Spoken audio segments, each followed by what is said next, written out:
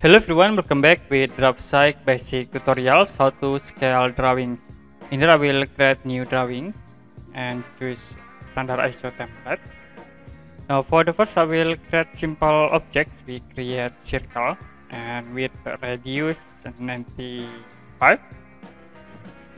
Now if you want to plotting uh, these drawings and scale, you can go to sheet for example I will plotting with A4 paper size. You can type rectangle we create for paper size in here with for length 297 and for width 210 so this is for A4 paper size. You can right click in sheet and click print configuration manager. You can click new and like I will set default for based on and will set there into example A4 paper size. Click save. Now we need to edit for printer or plotter. In here I will use my printer and size A4. For ranks, click specify and click from this top points into uh, bottom points.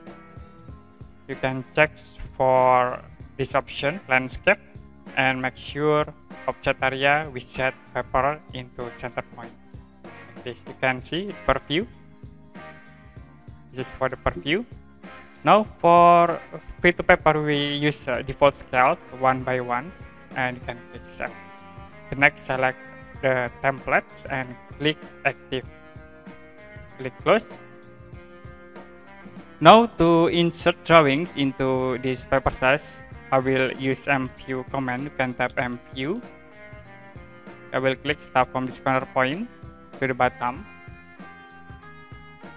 The next double click and you can see these drawings has scales 1,084 to change like you can change it to 1 divide 2 I will use uh, this scale to be automatically changed or you can change into 1 5 is for 1 5 so to change the scale you can use uh, these tools annotations and like change into 1 2 if you don't click outside.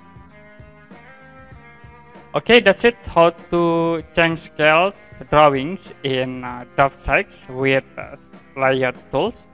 And if you have any question about this tutorial you can comment below this video